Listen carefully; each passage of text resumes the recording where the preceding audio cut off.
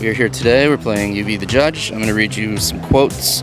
Tell me if they're from our Lieutenant Governor Mark Robinson or uh, our former President uh, Donald Trump.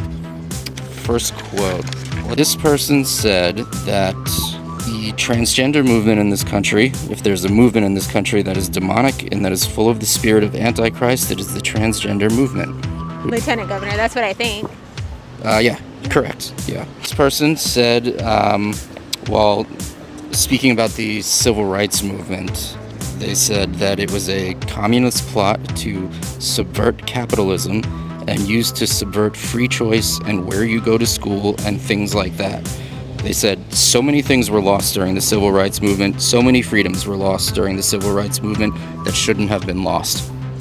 Was it the Lieutenant Governor as well? It is, yeah. What do you think about it? Just that this I guy's I do not approve of Mark Robinson. I think he is bigoted. I think his views are horrible, and I just think he's a horrible human being.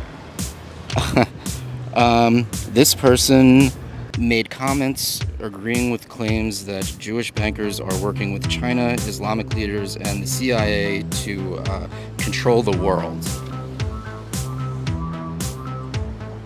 I want to say Mark Robinson again. That seems like something he would say. It is exactly something that he would say. Yeah, so uh, three for three. Congratulations.